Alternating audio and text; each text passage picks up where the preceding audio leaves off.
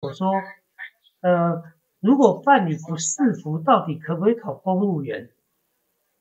这个办理不适服跟考公务员到底有什么屁事？对啊，到到到底有我我我不知道他这个士，而且还他还说是士官长跟他讲不行的。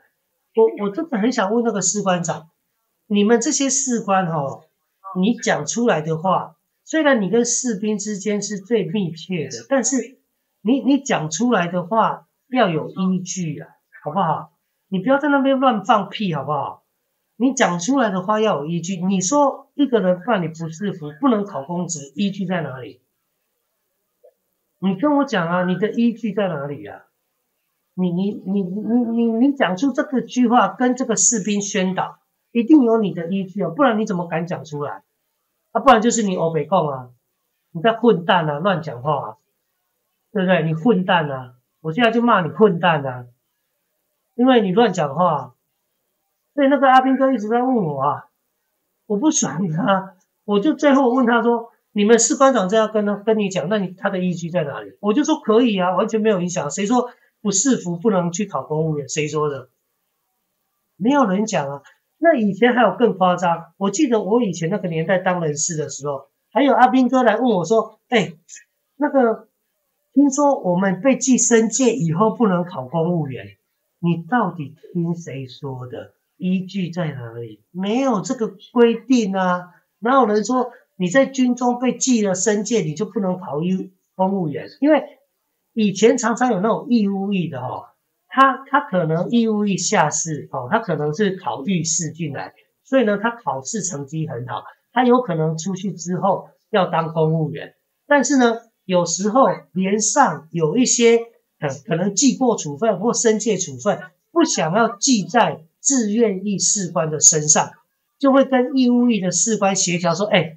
你帮连上背一个背一个惩处案的，好不好？那我颁发一个工作奖金给你的，就条件交换嘛。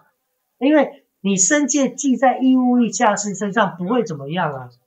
啊，但是以前就很多义务役下士来问我说，我我我们连长说啊记我升阶记我过啊，我以后要考公务员，我听别人说不行哎，这样就不能考公务员哎。到底是谁跟你们讲的？我都搞不清楚，我都不不知道。你国军那种不懂人事规定又要跟人家说明的人，你的用意在哪里？你你到底用意在哪里？我也搞不清楚哎。像这个这个不适服，我可能稍微可以体谅到一点，就是你们士官长可能不想要让你退伍了，所以呢，他故意骗你，你可能。在字里行间有跟士官长说报告，士官长，我想要办理不适服，因为我要去考公务员。因为怪物说只要认真努力，一定两年、两三年就会考上公务员。我要去考公务员。那那士官长可能想啊，那怪物都乱说话，我赶快把你不能考公务员的其中一点跟你讲，我就骗你了，骗你说你办理不适服就不能考公务员了。到底是谁跟你讲这个规定？这个烂士官长！你们到底都是从那里以讹传讹听来这些这么多规定，我都不知道哎，有这个规定我怎么都不知道啊？你们这些士官怎么都这么清楚啊？我我自己从事人事相关业务十年的人，我竟然不知道有这个规定，是不是我太落后了？是吗？是我太落后了吗？还是怎么样？那，为什么你们都知道？我自己是人事人员，我不知道这个规定，所以呢，我觉得啦。你单位不管是呃像以前义务役的人要记在他身上，没有什么不行，好好跟他沟通。但是你也不用，呃有一些人你看到这现象，你也不用跟他讲，哎你不要被记啊，这样你以后不能考公务员。到底是谁说不能考公务员的？对，谁说不能考？到底是谁讲的？没有人讲。我举一个最正常的例子，我记得啊，我之前曾呃提过一个例子，就。呃，单位里面呢有一个人哈，他办理的不是，而且他是用呃非常极端的手段办理的不是服，他他用自我伤害的方式，哦，这我之前有也应该有讲过。那他利用这个方式呢办理不是服，我就不要说他在部队遭受到什么样的对待，他是在呃这个中部的某某个机部里，哦，中部的某个机部里，然后呢，呃。呃，他就受不了里面的一些规则吧，哦，他最后呃就利用自我伤害的方式，然后呢达成了不适服的最后的这个标准，然后办理不适服。那办理不适服过后呢，两年他考上了警察，他考上了警察。那大家知道我的意思吗？他也办理不适服，而且他是用激烈的手段办理不适服哦。那他现在还在当警察，他考上了警察，不适服过两年后，他考上了警察。所以我就不知道你们那些骗，不要说骗了，你不懂规定，你就不要跟阿兵哥宣导，不要乱跟人家讲一些事情。那你要讲，你就必须要有依据。你说这个人办理不适服之后。不可以考公务员，你的依据在哪里？你拿出《自卫士兵服役条例》，你去里面看，你跟我找里面有关退场机制里面哪一条说，你如果办了退场机制之后，你不能考公务员？你拿给我看，我在这里跟你道歉，好不好？你去拿来给我看，是不是？那既然没有的话，你为什么要用这种说话技术，或者或者是这种错误的观念？把你不适服的阿兵哥留下来，把你们单位想要办理不适服的人员留下来，没有意义嘛？你这就是用骗的吧？那你跟那些招募员有什么两样？你跟这些招募员有什么两样？不是说我不尊重你士官长的位阶，我非常尊重那些优秀的士官，但是你不能乱讲话啊！有规定，我们按照规定来说明；没有规定，你就。好好的处理这个不适服的人员嘛，协助他。你都是单位的士官督导长，你应该要站在官兵的同一线，然后呢，聆听官兵的各种心声，协助官兵来完成他想要达到的目标嘛。你怎么会跟那个官兵对抗，而且还骗他，乱跟他说规定，然后有点半威胁式的让他办理不不要办理不适服？那你这个就为枉费了当人家士官督导长，就是我今天他就他已经好几次问我了，可能他真的，可能他真的出去之后有可能想要考公务员，然后呢，他们士官长也知道，所以呢就用了这种方式跟他讲说，你不准考公务员，不是不是不准，你如果办理不适服不能考公务员。我真的很想问这个士官长，你的依据，的依据在哪里？那以前办理不适服考上公务员的那些人怎么办？你要叫他这个办理呃退休吗？还是什么？我不知道。没有什么，在在我们再用另外一个方式来讲，你今天在报考公务员的时候，请问谁知道你办理不是服？警政系统。跟我们的民政系统、跟我们的军中的系统、人事的相关系统是没有结合的哦。那这个人按照考选部的各项规定来实施报考的时候，他怎么会知道他办理过不是服？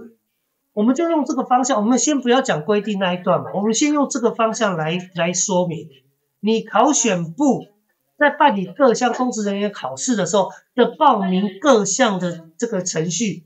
里面有哪一个是要跟军中做查验的？没有啊，你报你的，啊你的军中记录是你的军中记录啊，那到底有什么相关？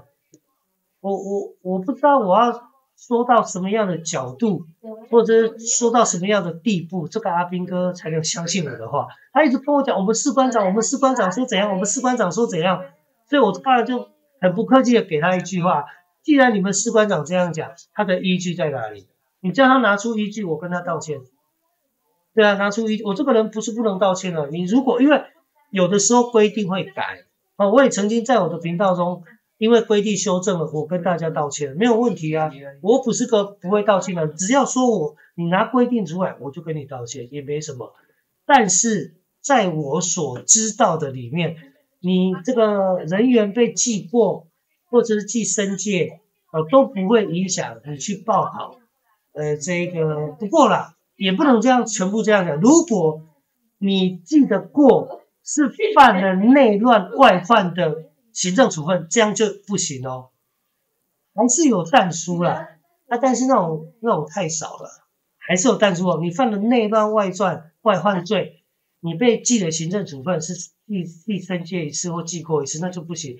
有几个是不行的，你要你还是要看一下。不过大部分哈，我们一些义务人员哦，你要帮连上背一些这个呃惩处，大部分都记申诫一次、申诫两次啊，那个其实不会影响啊。你总不能这个人犯外患罪，你给他申诫两次吧？你脑袋有洞吗？外患罪至少要大过以上处分，是不是？怎么可能申诫两次？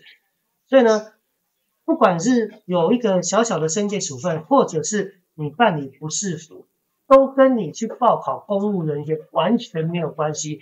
你不要再听你们士官长在那边乱讲，好不好？也请各单位的那个人事人员或者士官督导长，对我们的相关人事法规一定要非常的熟悉，不然你没办法跟你的阿兵哥说明，阿兵哥阿兵妹说明，会造成他们很大的影响。